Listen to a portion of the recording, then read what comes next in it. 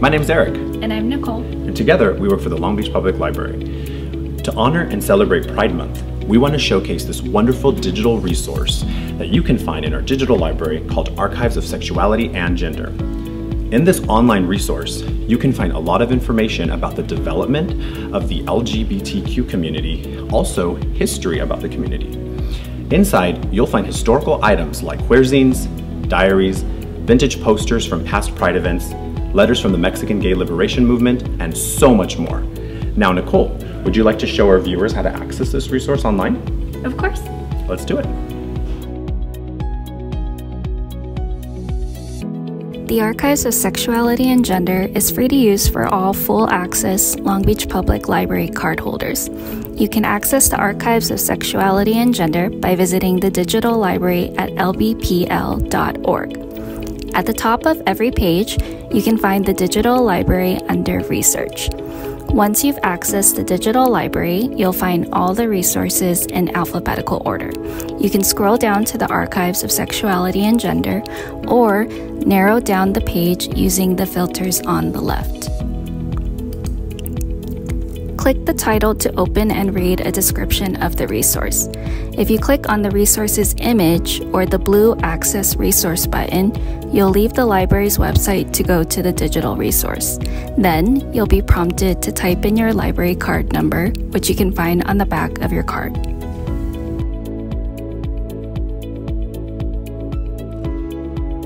Once you're logged in, you can begin browsing. If you hover to the right of the page, you will find five categories collections, publications, research tools, about, and search history.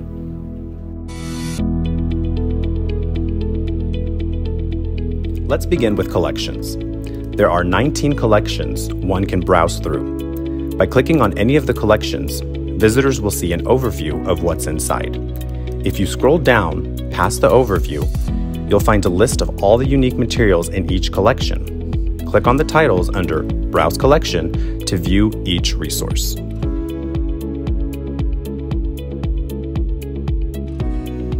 Publications.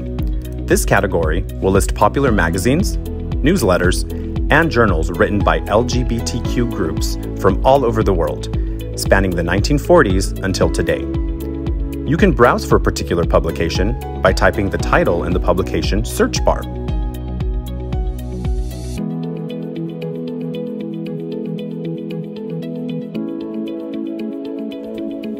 Research tools.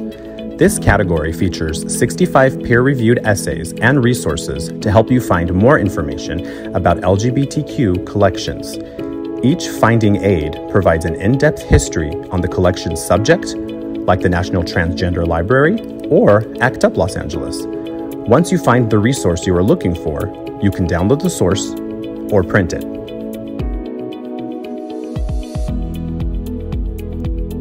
Search history. You can review your past searches from the current session here. If you have a collection and need to return, you can easily go back by finding the page in your search history. Nicole, is there anything you'd like me to research? Yeah, let's look up past Long Beach Pride events. Sounds good.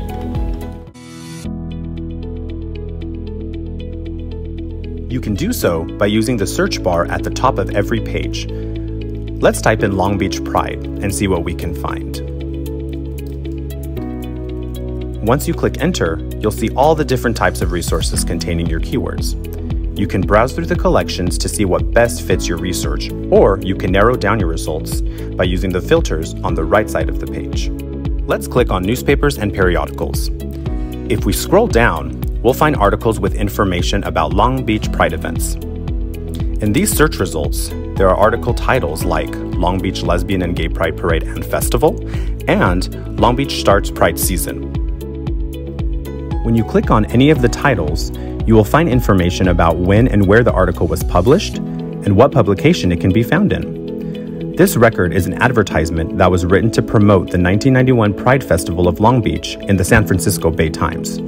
Just like Pride today, we can see the festival and parade were held near downtown Long Beach and promoted throughout the state of California. This is a great resource, and I encourage anyone to practice the tools in the archive to learn more about the history. And if you have any questions about how to use the Archives of Sexuality and Gender or any of the resources in our digital library, please feel free to ask a librarian at your local branch. Thank you for watching.